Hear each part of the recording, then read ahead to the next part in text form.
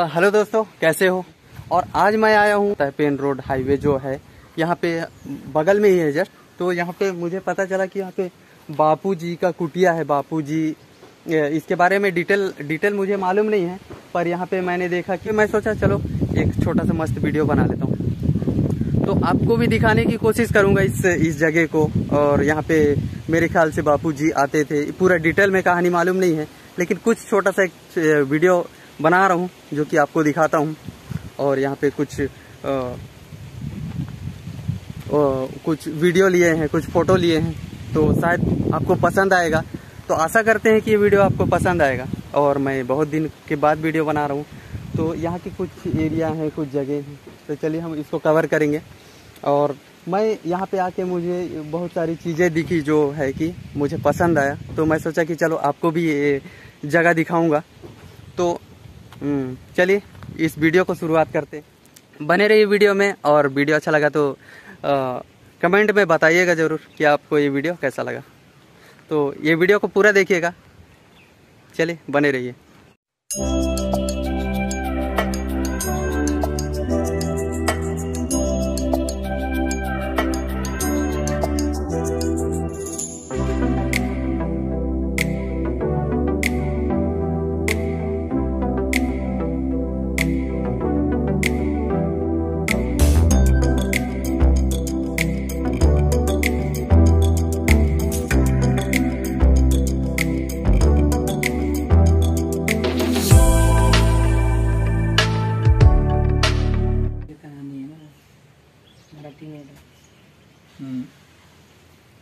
किया आहे लूट गेट हाँ, सब लिए। हाँ।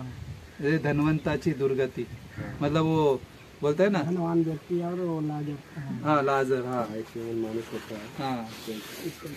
सही है लेकिन थोड़ा ऐसा मतलब शॉर्ट में ना हाँ। किसी को देगा ना समझ में आएगा वो क्या बोल रहे हैं इधर आके पढ़े पढ़ने के लिए रखा है कोई पढ़े इधर आएगा तो मिलेगा तो अच्छा है दिस इज़ गुड बात करेंगे तो देखो वध स्तंभाकडे सात उद्गार।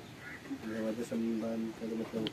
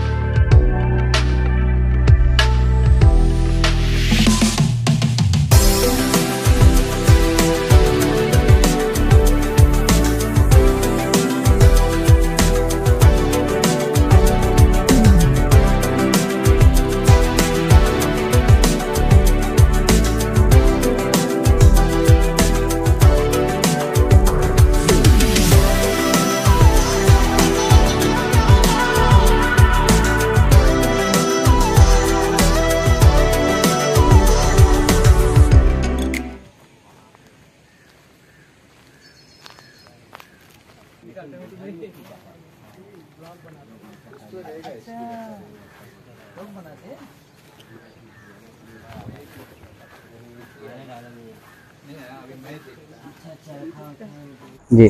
इन्होंने गांधी जी के साथ जो फ्रीडम फाइटर थे तो 92 का जो आंदोलन हुआ था 1942 का जो आंदोलन था उसमें एक स्वतंत्र सेनानी जो यूसुफ मेहर ये देखिए ये यूसुफ मेहरले हैं। जी इन्होंने गांधी जी के साथ महात्मा गांधी जी ना उनके साथ इन्होंने काम किया है। तो जो अंग्रेज़ भारत छोड़ो जो उनका नारा है ना ये इनका था। अंग्रेज़ भारत छोड़ो। तो ये अ, उस जमाने के फ्रीडम फाइटर हैं। तो उनके नाम से ये संस्था हम चला रहे हैं। लगभग इसको अभी सौ साल हो गए इस इस संस्था को। तो ये सब एक्टिविटी हम यहाँ पे सब संस्था का संस्था का एक हेतु है कि गाँव का लोगों का विकास होना चाहिए। तो यहाँ पे जो सभी लोग काम कर रहे हैं ना तो वो गाँव के ही है। ऐसा है। ये सभी स्मॉल स्केल से आपने देखी है ना यहाँ पे सब गाँव के लोग काम कर रहे हैं। और सभी हाथ काम चल रहा है मशीनरी है लेकिन कम है। यहाँ पे फ़र्स्ट टाइम आया मैंने और इसके बारे में कभी सोचा नहीं था जाना नहीं था। तो मैं सोचा चलो यहाँ जब यहाँ पे आया ही हूँ तो यहाँ से कुछ जानकारी ले लेते हैं। हम्म। क्योंकि कई बार क्या होता है कि लोग घूमने आते हैं और यहाँ के बारे में कुछ जानते नहीं। तो हमने सोचा चलो यहाँ पे एक, एक वीडियो शूट कर लेते हैं और जैसे हमने देखा वैसे लोगों को भी दिखाएँ। तो आशा करते हैं कि वीडियो आपको पसंद आएगा। अगर वीडियो पसंद आए तो हमें कमेंट बॉक्स में लिख के ज़रूर बताएँ। तब तक के लिए बाय बाय।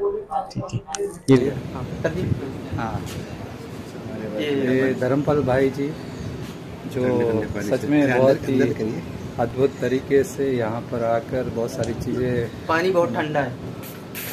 और सुबह से मुँह नहीं धोए थे। करना है? करेंगे। साल में नहीं? ये एक ही बार? हाँ। क्यों ऐसा? ये पता नहीं इसका कुछ तो है। तो फिर बार बार फल देने के लिए दोस्तों आप जानते हैं कि केला एक ही बार फल देता है। हाँ? हाँ, अनानास, हाँ, हाँ। फल नहीं है मैंने ऐसा सुना है कि ये एक पेड़ में सिर्फ़ केला का एक ही फल आता है। एक फल नहीं मतलब बहुत सारे कमेंट में लिख सकते हैं। अनानास का ही छोटा रहता है। तो जब वो पूरा ऐसा आ जाता है ना पू- पूरा पूरा गुच्छा ही आता है लेकिन एक ही बार फल देता है। नितिन ब्रदर एक ही बार फल आता है ना? कौन सा? आ, आ, केले का फल एक ही बार आता है लगता है। नहीं यार आप कमेंट बॉक्स में लिख के बताइए। हम्म, अगर आप ज़्यादा ज्ञानी है तो। हाँ? आता रहेगा आता है। हमने हमारे घर में लगा था तो आ रहा था। ये बार्ली पे हाँ, हाँ। है। ट्रेनिंग होता है अंदर अंदर ले लो अच्छा अच्छा। ट्रेनिंग ट्रेनिंग है। ये ये पहला निकालो। ये देखो ये इसके ये ये छोटे छोटे आपको ये ये जो तस्वीरें दिख रही है छोटे छोटे ये ट्रेनिंग सेंटर है यहाँ पे देख सकते हैं। अंदर और- लोगों को पढ़ाया जाता है शिक्षा दी जाती है। जी। और आप अंदर आके देख सकते हैं। आइए।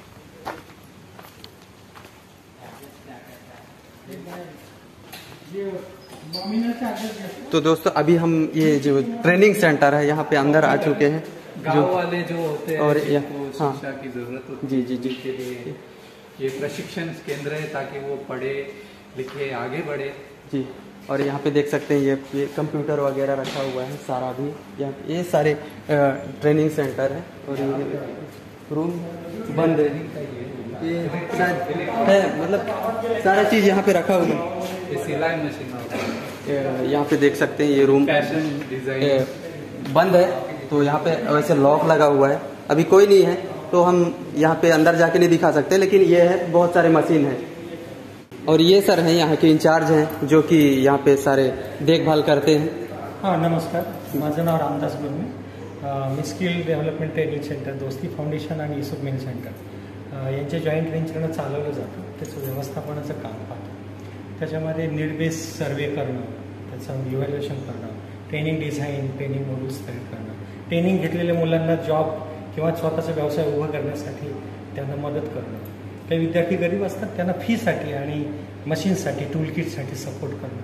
ही सगळी जी व्यवस्थापन आणि बाकी ऑफिसची कामं हे सगळे. आणि नवीन गावामध्ये जास्तीत जास्त लोकांपर्यंत संधी देणं. काही ग्रामपंचायतला भेटी देणं ग्रामपंचायतचा फंड त्या विद्यार्थ्यांच्या शिक्षणासाठी मिळवून देणं यासाठी आम्ही लोकल बॉडीजला भेटतो आणि त्या पद्धतीनं त्यांनी सहकार्य त्यांचं घेतो सगळे मिळून सहकार्य करून जे अनएम्प्लॉईड युथ आहेत ड्रॉपआउट युथ आहेत आणि हाऊसवाईफ आहे तर यांच्या हाताला काम कसं मिळेल बरोबर यासाठी आपण. प्रयत्न करतो बरोबर. ह्या दोन्ही संस्थांचा तोच प्रयत्न आहे. बरोबर. की लोकांच्या हाताला काम आणि पोटाला भाकरी बरोबर. चांगल्या. पद्धतीने मिळून ते बर- बरोबर. सक्षमीकरण कसं होईल या सगळ्यांचं? त्यासाठी आपण प्रयत्न. आणि हे ग्रामीण भागातील युवा युवतींसाठी आणि महिलांसाठी बेरोजगारांसाठी आणि गळती झालेल्या मुलांसाठी हे आहे. पुस्तकी शिक्षण घेऊन नोकरी किंवा कामधंदा मिळेलच याची शाश्वती नाही. म्हणून आपण स्वतंत्र हे कौशल्य विकास किंवा रोजगार मिळवून देणारं शिक्षण या पद्धतीचं आपण त्याचं डिझाईन केलं. धन्यवाद.